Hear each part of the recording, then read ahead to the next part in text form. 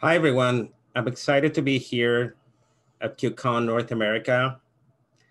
And today we're going to tell you about one of the CNCF SIG, CNCF6 runtime.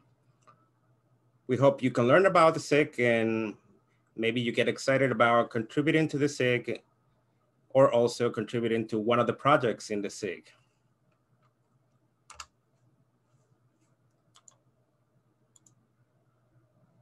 So our charter. So SIG runtime is there to enable the successful and widespread execution for all kinds of workloads. Uh, and that includes uh, any latency sensitive type of workload or any type of batch workload, or even some really specialized workloads that are maybe related to specific hardware like uh, CPUs or FPGAs, and all of them with cloud native environments in mind. We have two TOC liaisons, CNCF TOC. Currently, we also have three chairs and also a tech lead. Our meetings are every first and third Thursday of every month, and we meet at 8 a.m. Pacific time. Our communication channels are the email list, and also we have a Slack channel. So what is it? So SIG runtime is at the forefront of the cloud native space. Uh, so we want to reach out to new and exciting projects within the SIG runtime scope. Uh, we want to help increase that contribution to those projects and also contributions to the CNCF. And we also want to support some of those existing uh, projects or other projects help navigate that CNCF universe. Uh, there, there are many projects in the CNCF and it can be quite confusing about which projects are needed for what or what the capabilities are for each one of these projects. We also interact with other relevant SIGs. Uh, so we interact with SIGs that are in different technology spaces like SIG observability or SIG app delivery, or other SIGs like SIG uh, contribution strategy, which helps projects set up a framework on how to grow and how to uh, become more popular and get more contributions. Another one of our goals is to educate end users and also educate the community on the projects, on the technologies, and some of the other SIGs and also the CNCF. So in the scope of the SIG, we have several projects. Some of them are in different stages in the CNCF. Some of them are not even in the CNCF. Here are some examples of these projects for example, Containerd or CRI-O for runtimes, or K3S and Kubernetes for workload or orchestration, or you have KubeEdge to run workloads at the edge, and so forth. So we also have different areas with, where these projects actually fit in. You have the general workload or orchestration area, and Kubernetes, K3S, Volcano are in this area. They allow you to run workloads in cloud native environments. Metal 3 or MetalCube.io uh, also is another project that allows you to provision bare metal machines. And that's also in that space. A different area or scope of the SIG is the containers, runtimes, or VMs type of projects. And in this scope or in this area, we have runtimes like CRI-O or Containerd. We also have things like WebAssembly. In this example, we have WASM3, which is a runtime, or WA, WASCC, which is WebAssembly Secure Capabilities Connector. And we also have container image registry projects like Harbor. Another space is the operating systems for containers. And two examples of these are Flatcar and Talos very lightweight operating systems that are meant to be just to, for running containers. Then the SIG is also interested in projects or has an interest in the MLOps, edge, and AI type of space. There are also some projects that are in that area, for example, Seldon Core that allows you to serve your machine learning models. We have a KubeEdge, which is currently in incubation in the CNCF. And we have something like FogFlow, which is similar to KubeEdge that allows to run workloads uh, at the edge. And then we're also interested in workgroups. We currently only have one workgroup. And as we get more contributors, we would like to have more. But our current workgroup is the Container Orchestrated Device workgroup. And Renaud will talk about this in the presentation. So in the general workload orchestration area, we have a few projects. So one of the projects is Volcano, currently in Sandbox. And this project allows you to run Kubernetes native batch workloads. Uh, you can run different kinds of workloads with scheduling mechanisms. For example, it, provides Gang scheduling. It helps you with TensorFlow training. It has custom resource definitions in Kubernetes that allows you to uh, substitute the standard job mechanism in Kubernetes with its own job mechanism that is richer and has more capabilities. You can also use this project to run batch type of processing using specialized hardware like GPUs or FPGAs, and also helps you to handle some of the errors for some of these batch workloads. Currently, this project is in Sandbox. Another interesting project is KEDA, and that's Kubernetes event-driven auto-scaling. And this project allows you, allows you to auto-scale your pods or containers and resources, say in your Kubernetes cluster based on events. And these events can be anything, maybe in a cloud provider service like an AWS uh, queue mechanism or a Kafka queue that it triggers some events or some topics, or maybe you have uh, a database trigger that there's some data actually gets stored in the database or some message uh, gets uh, passed to a database. So multiple events can be actually seen and then you can auto scale your Kubernetes cluster or Kubernetes pods based on these events. Typically, it helps to scale function pods. So it, it actually works in that serverless space. It is vendor agnostic and supports multiple cloud, cloud providers and plugins. Another project that is currently in Sandbox in the CNCF is metalcube.io. Essentially, this project allows you to provision bare metal machines in your cloud provider like Amazon, where you may have bare metal machines, or just your data center or your colo, where you have your own machines. It makes use of Kubernetes itself to provision these machines. With using the cluster API, another Kubernetes project, it allows you to provision all these nodes. Uh, it could be Kubernetes uh, nodes uh, running on, on, on, bare metal. So it allows you to provision the components like the kubelet and everything that you need to run in a Kubernetes node. Another project that presented, presented in the SIG is the Node Resource Interface. This project allows you to manage resources in Kubernetes nodes. It's an interface for manage these resources. And what are these resources? When you talk about container level resources, you talk about CPU slices or memory slices, or even devices on these nodes. So this is a standard way to manage some of these resources and targeted, you know, for things like Kubernetes.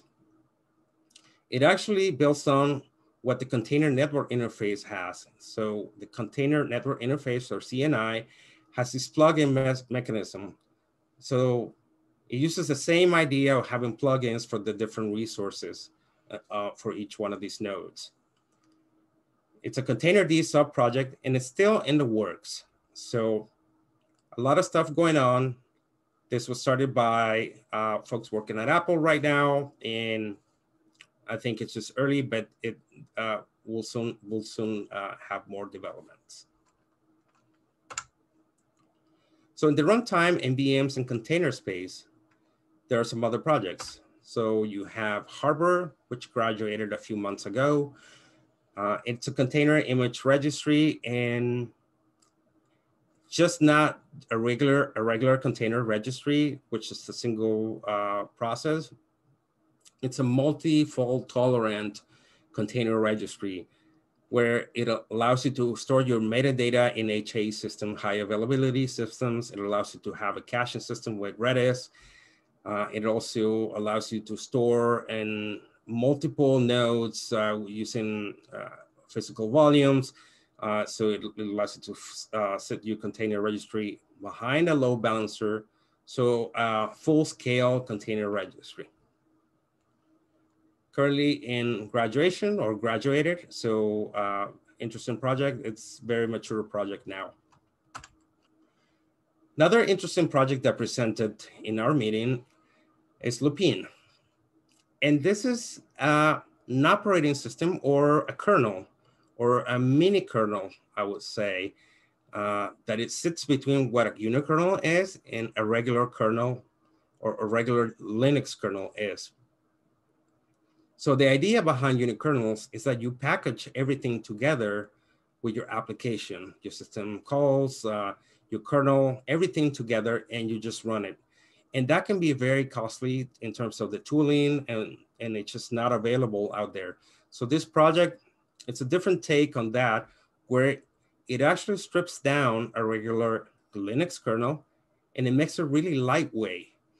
And so when you run, it actually doesn't take a lot of time to boot up, but at the same time, it's compatible with the most important or the most popular uh, types of workloads like databases, like um, runtimes for languages. So you can run most of your workloads and you, you don't need to prepackage everything. And at the same, it's very lightweight. As opposed to a regular kernel, regular kernel can just run everything. You will have some limitations here. But again, you're trying to address more of the more popular applications that you may run. This is targeted more towards serverless type of workloads where you maybe want to instantiate a VM with a very lightweight kernel just to run a function. So cloud providers have some of these with something like Firecracker, but, it, but they don't necessarily have something like Lupin that is a very lightweight kernel that allows you to run, for example, like an AWS Lambda function very quickly, or not just one, but like many, many of them at the same time and instantiating them and then tearing them down.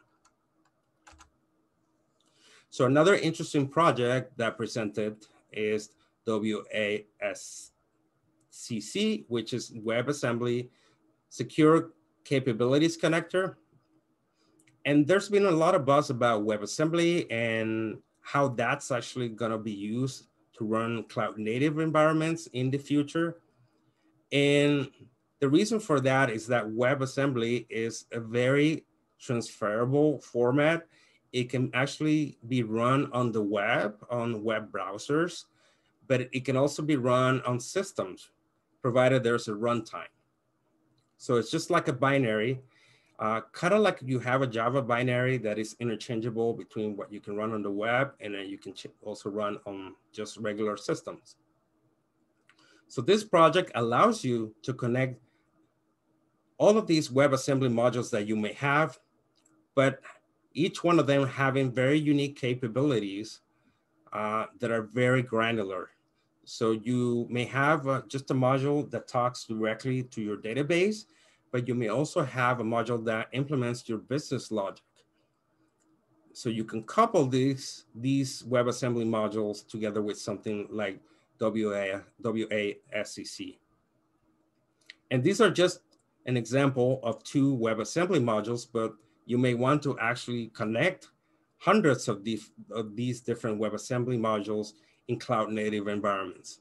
So the idea here is to facilitate the connection between these modules and allow you to run a full blown cloud native application or a full, or a full set of multiple microservices. The other scope uh, that the SIG is actually uh, having presentations for is the operating systems for containers space. Talos is another project that presented, and it's a modern operating system that is very lightweight and it's just meant to run containers. It's minimal, it's immutable. It allows you only to interact with it using just regular APIs, not just you know by SSHing or doing an SSH connection to the operating system, but this external way of interacting just using APIs and the philosophy here is, is that you have more security, but you have more control of what can happen inside that operating system. Uh, and you can do things like MTLS, mutual authentication. Uh, you reduce unknown factors uh, with uh, immutable infrastructure. So the idea is to simplify your infrastructure to run containers. Another project is that presented is Flatcar. And Flatcar is an evolution of CoreOS. Core, CoreOS just reached the end of life. And this is a continuation of CoreOS with more capabilities. They've actually gotten a lot of adoption uh, just because CoreOS uh, also reached um, end of life. And they're not necessarily an API-based operating system, but the idea is the same behind CoreOS that you want to have this lightweight operating system just for running containers. And you reduce your attack surface by having less components and just having the components necessary for running your container images. Currently, it's gaining a lot of a lot more popularity and it keeps on growing.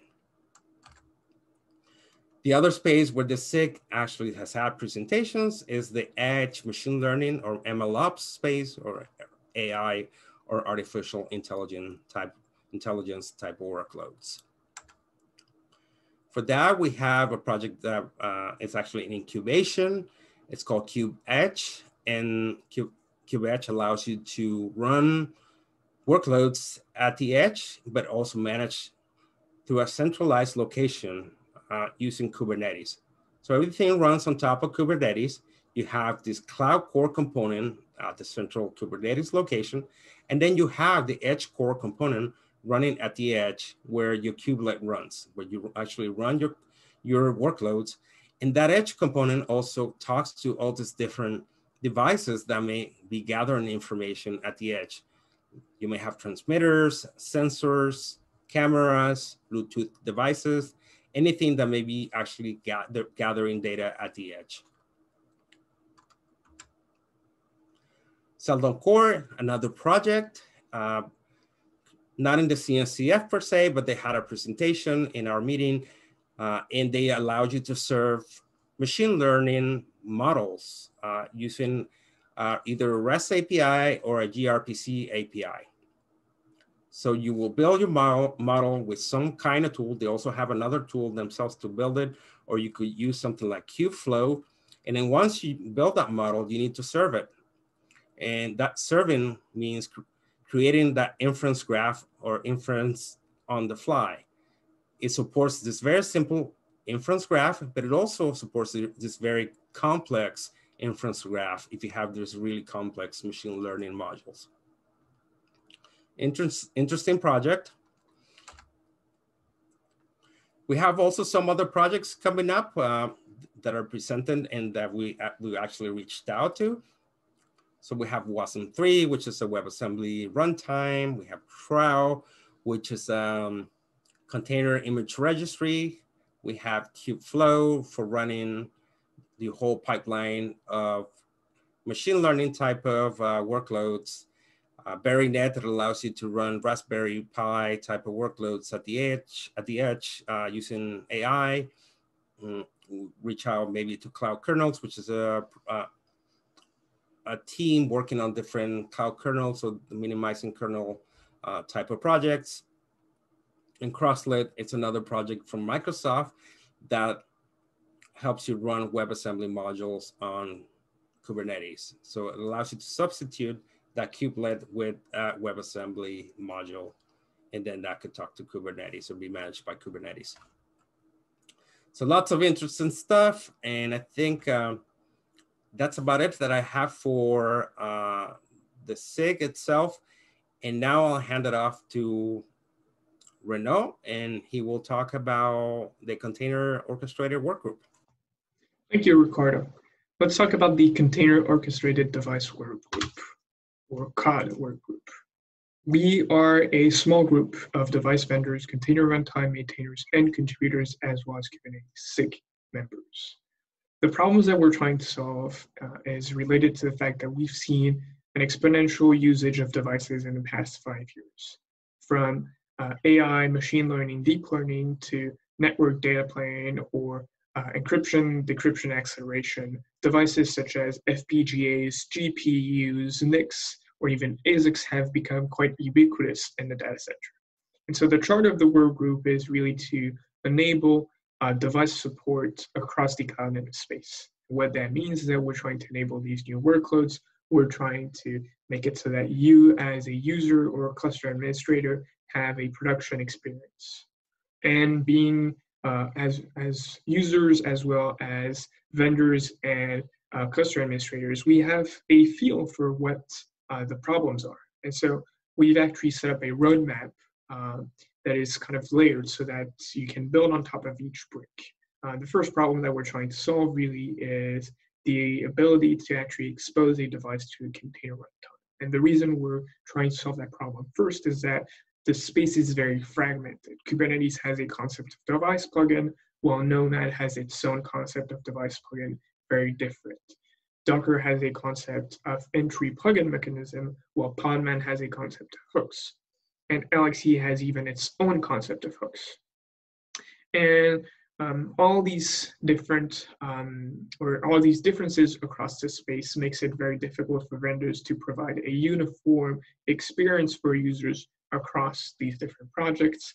And that makes it very difficult to provide some features or the same features across these projects, meaning that some projects have different capabilities than others. Um, and so the next problem that you want to solve or that we want to be able to solve is that when you are offloading compute or a task to a device, one of the main reasons you're doing that is speed and choosing the right CPU, choosing the right memory, choosing the right NIC, or choosing the right device is very important. Uh, if you have the wrong CPU and the wrong device, it can sometimes destroy your performance and nullify the effect of actually uh, offloading the compute to another device. last problem when you are in a data center and you have, for example, um, tasks that need to be uh, spread across multiple nodes, tasks that need to talk to each other. Most of the time, uh, you want these nodes to be close to each other, and for example, on the same racks. And so figuring out what are the right knobs, what are the right policies, where are the right extension points is very important. Uh, it's a hard problem, but it's a very exciting problem. And so the first problem that we've tackled, as mentioned on our roadmap, is really the ability to expose a device to a container. And our answer to that is CDI, the container or um, the container device interface. Uh, it's a unified plugin architecture for runtimes. It's based on CNI, the Container Network Interface.